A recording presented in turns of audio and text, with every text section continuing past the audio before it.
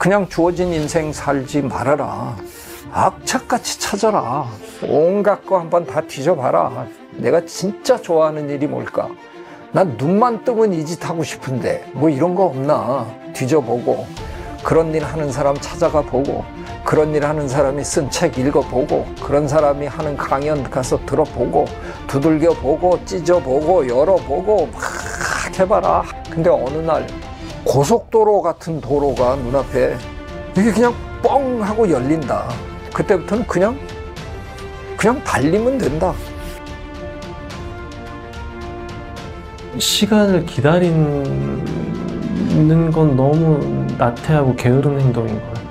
기다린다기보다는 저는 기다린 건 아니거든요. 많이 알려지기 전부터 기다린 게 아니라 저는 제 거를 하고 있어.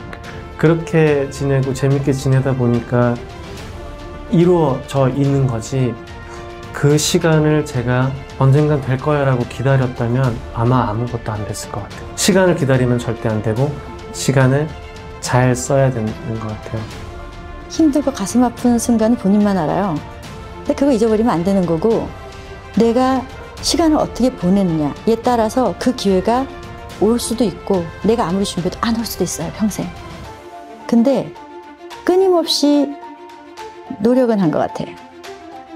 독전 할 때까지 한 12년 정도 발음 연습 그리고 독백 연습을 단 하루도 빼지 않고 1시간에서 2시간씩 혼자 연습실에서 했어요. 근데 그렇게 열심히 했던 이유는 이렇게 열심히라도 안 하면 나한테 좋은 기회가 왔을 때 내가 이걸 못 잡을 거 아니에요. 그럼 얼마나 후회할 거야? 이런 생각 때문에 거의 10여 년을 이 루틴을 지키지 않으면 무너진다라는 생각으로 그 루틴을 갖고 살았었어요. 스스로를 빛나게 하, 하는 건 성실함이라고 저는 네, 지금은 생각을 하거든요. 누구나 살면서 기회가 한 번씩은 온다고 하는데 얼마나 성실했느냐에 따라서 그 기회를 잡을 수 있나 없나가 조금 달라지지 않나라고 저는 뭐 개인적으로 지금은 그렇게 생각하고 있어서 근데 인생을 살다 보면 결국은 성패가 성실함에 달려 있는 것 같아.